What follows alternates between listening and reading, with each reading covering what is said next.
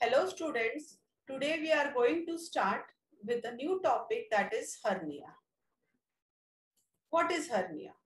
Hernia is the protrusion of a viscus or a part of viscus through an abnormal opening in the walls of its containing cavity. So there is an opening in the wall which is causing hernia. Here you can see that these are the coils of intestine and this is the abdominal wall.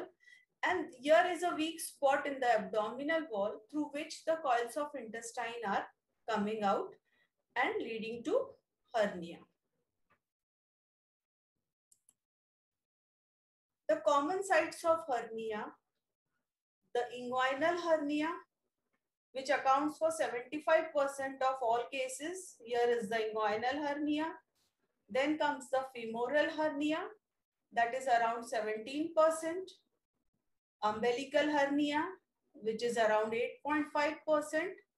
And incisional hernia, which accounts for 1.5% of total cases of hernia. This incisional hernia, it occurs on the incision given for a particular surgery. There are some rare types of hernia that account for total 1.5% of all the hernias, the epigastric hernia, the lumbar hernia, the spigelian hernia, the obturator hernia or the gluteal hernia. So the common site is the inguinal canal where inguinal hernia occurs. If you see the etiology of hernia, any condition which rises the intra-abdominal pressure, such as a powerful muscular effort, which may produce a hernia.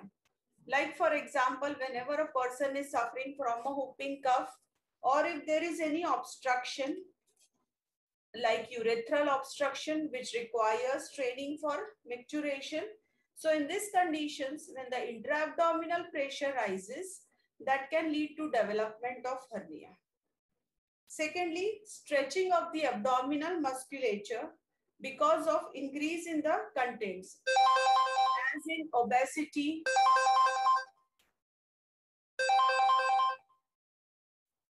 as in cases of obesity or pregnancy. Smoking is also considered as one of the etiological factors for hernia because hernia is common in smokers and this may be the result of acquired collagen deficiency. Hernia also occurs in congenital preformed sac that is remains of processus vaginalis. So whenever there is or you can say that whenever the processus vaginalis remains patent that can lead to development of hernia. In cases of multiparous women, femoral hernia is more common that might be because of stretching of the pelvic ligaments. So these are few etiological factors which lead to development of hernia. Hernia consists of three parts, the sac, the covering of the sac, the contents of the sac. The hernial sac consists of diverticulum of peritoneum. That means the sac is made up of peritoneum which is divided into mouth, neck, body and fundus. This is the mouth of the hernia. The neck is the narrowest portion of hernia, whereas the body of hernia varies in size. And the last one is the fundus of hernia. The coverings are derived from layers of abdominal wall through which the sac passes. In long-standing cases, the covering may become atrophied. The contents may be omentum. That time it is called as omentocele. If the hernial sac contains intestine, it is called as enterocele. And in this case, usually it is the small intestine. Then it can contain portion of circumference of intestine and that hernia is called as Richter's hernia. Here you can see that this is the intestine and this is the small portion of intestine only a small circumference of intestine. Whole of the intestine is not going into the hernial sac and this is called as Richter's hernia. It can contain ovary also. At times hernial sac may contain Meckel's diverticulum and that time it is called as Richter's hernia. So these are the different contents of hernial sac. Irrespective of the site where the hernia is occurring, hernia can be classified into five types. Reducible hernia, irreducible hernia, obstructed hernia, strangulated hernia, and inflamed hernia. In short, we'll see about all these types of hernias. The first one that is reducible hernia. A hernia is said to be reducible when as soon as the patient lies down, the hernia disappears or it can be reduced manually. So when a person lies down, the hernial swelling disappears. In cases of enterocele, the first portion is more difficult to reduce as compared to the last portion. And it always reduces with a gurgling sound because it is containing intestine. So whenever you try to reduce an intestine, it always reduces with a gurgling sound. Whereas in case of omentocele, the last portion is more difficult to reduce because of adhesions. The fat gets adhered to the walls of the sac. In case of reducible hernia, impulse on cuffing is positive. Then the second one that is reducible hernia.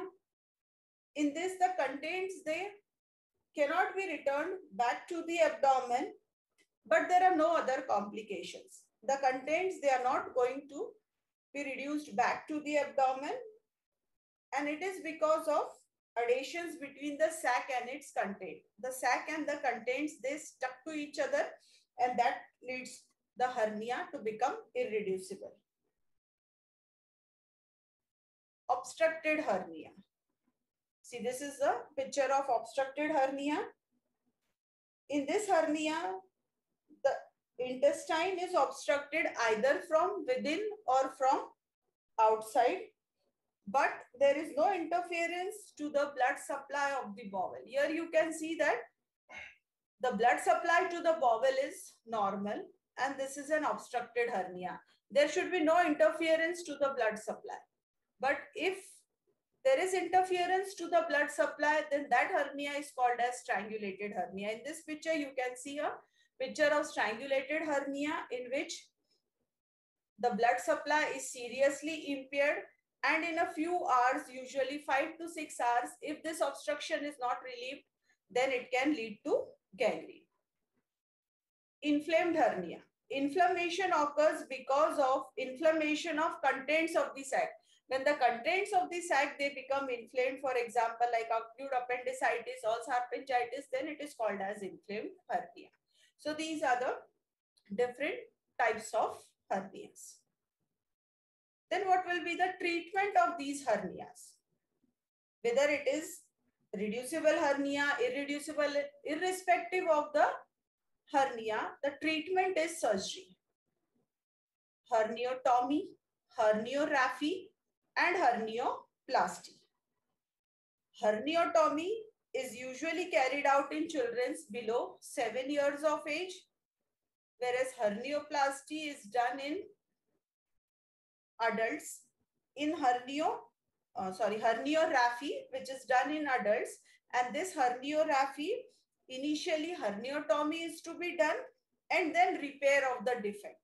And that is herniorrhaphy, repair of the defect hernioplasty in this also repair of the defect is done but hernioplasty is usually done in cases where the defect is big where there is a history of recurrent hernia or when the occupation of the person requires lot of physical straining. So in that case we go for hernioplasty.